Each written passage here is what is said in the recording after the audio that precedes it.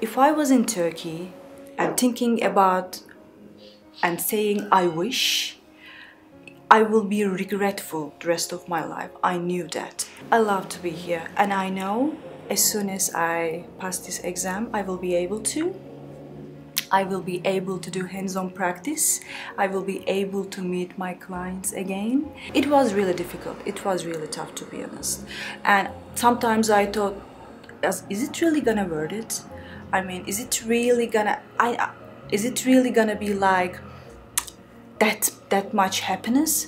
So, but today I can easily say that I knew something is bigger coming every day because when I be able to work as a physio in Australia, I will be able to learn more and discover more. But right now I am still in the process, but every single day I'm pretty sure I will be just being more close to be a physio here.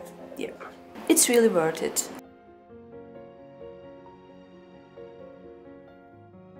Evrim cooking every day for me. He is the one always support me and he is the one always encourage me to follow my dream. Yeah, sorry. That is really emotional for me.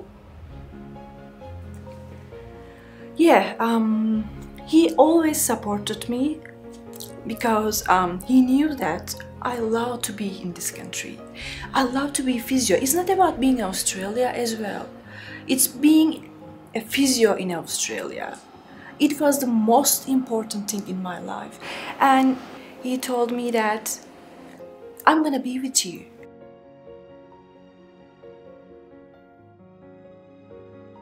Have dreams and if you want to follow your dreams, you have to do something every single day.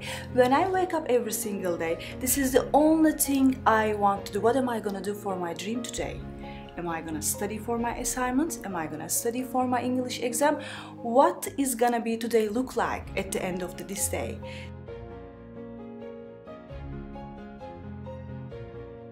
I'm at Alfred for more than one years.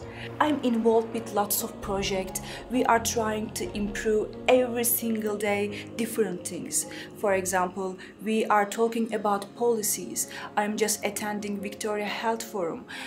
I can easily understand someone comes from different countries Portuguese, doesn't matter where they come from. I can understand how they feel. I just wanted to be the voice of some culturally diverse patients here.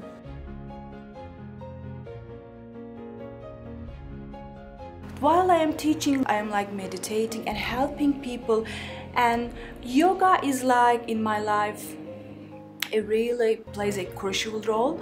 If someone is really um, suffering from something, doesn't matter it's physically or emotionally or spiritually, I know I am there to help them with my voice and I love to teach yoga in every single day and I'm, I feel so lucky to know like uh, physical part or physical therapy part of it like anatomically or physiologically. And right now spiritually and I can combine all these skills together to just teach people more and more every day. Yeah.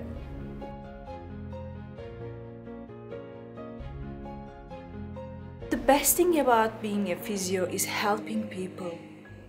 Seeing on their face you are improving their life in every single aspect when I graduated as a physio from Hacettepe University, I remember my first day and I remember the day I was just helping people, improving their life and they are thanking you to do just for single step.